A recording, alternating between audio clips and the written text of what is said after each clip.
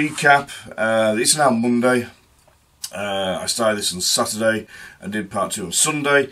Uh, it's now Monday, so I'm actually carving today out to get this finished off. I hope.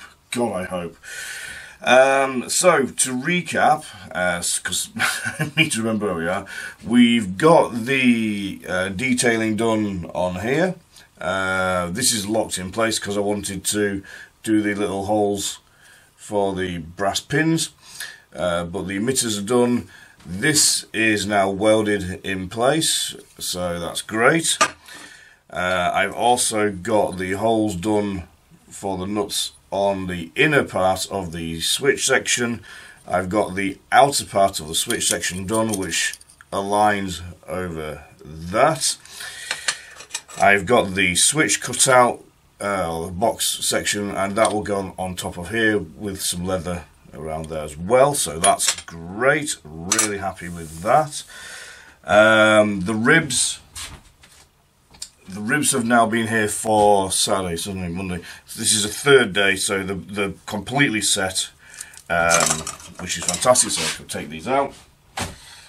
Uh, and these are the, the ribs. Obviously, these have to be sanded down because I can't do them with the, the base on there. Oh, I just dropped one. One second.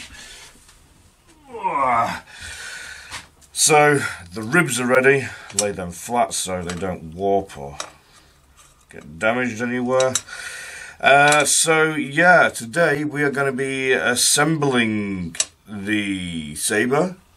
Um, should be fairly straightforward. Can't see many complications arising from said challenge.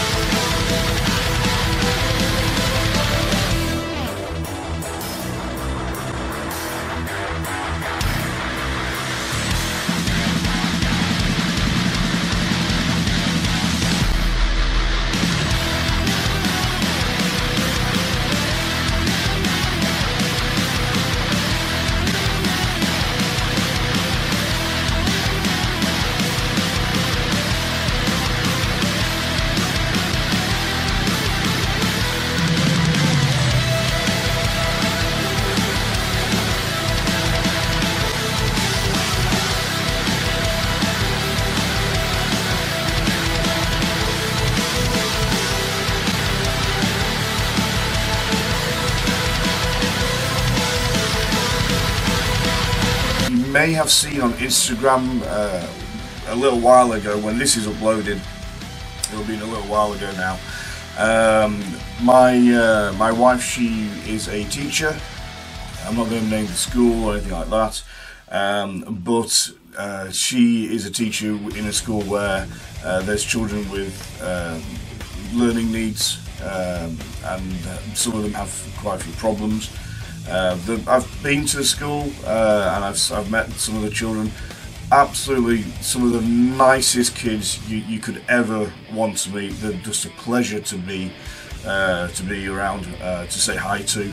Uh, I was actually there uh, putting up um, a very large outdoor shed type cabin for them a couple of years ago, and I got to see a couple of kids because they were curious to what was going on. So they all came over on the lunch uh, to say hi, uh, and it was lovely to meet them. Really, really smart kids. Um, and uh, there's a, a, few children uh, out it's not a huge, huge school like thousands or like hundreds and hundreds of kids. It's a very small school uh, because the, the, children have, uh, have, have needs, unlike normal school kids.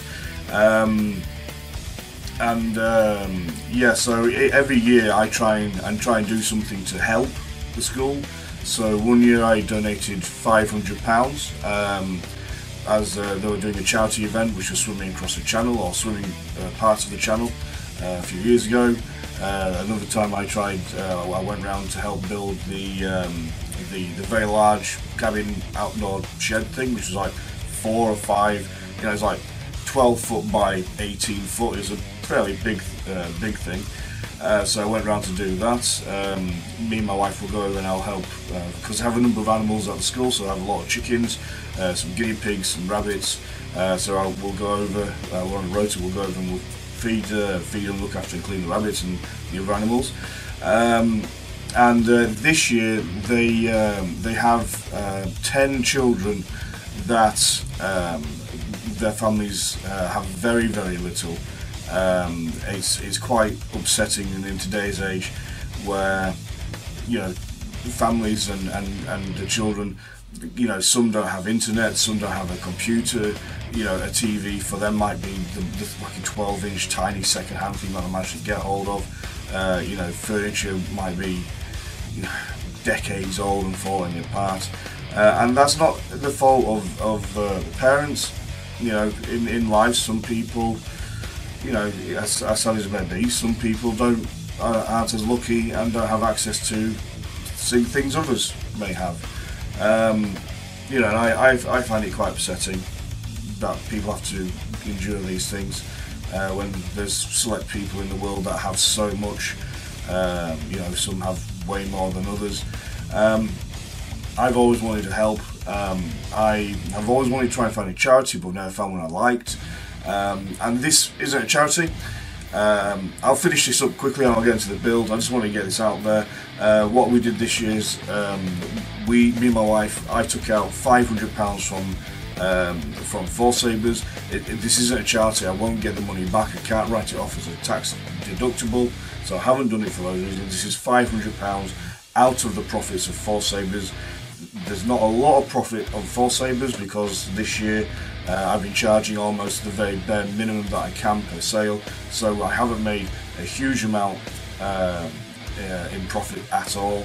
Uh, so there's not a lot of money in Force Sabers, but I still took £500 out. Uh, I'm not saying that to try and get sympathy, you know, just being honest. Um, I took £500 out of the, the money from Force Sabers from the account. We went to Morrison's, we spoke to a lovely manager there, told him what he wanted to do and then we went round Morrison's and we just cleared, literally cleared the shelves of specific foods. Uh, so like tins of beans, tins of tomatoes, spaghetti pasta, uh, penne pasta, um, soap. We, we cleared all the shelves of all these specific ones um, and we, we've put together 10 hampers of food. Um, so there's two bushes, there's food, uh, you know, the noodle packages. So each one, each child gets like three bag, three things of spaghetti, two bags of penne. Uh, they get uh, three cans of uh, tomato um, chopped tomatoes, lots and lots and lots of things. I'm going to chuck up some photos now so you can see what it was. There's a, few, a photo of us as we're going around. Uh, there's a photo of us at the end putting it in the car. Uh, the first load in the car is all um, all the tin food. Uh, then after that we're just stacking on all the, the pastas and everything else that we got. Uh, so and that was that was a, few hundred pounds.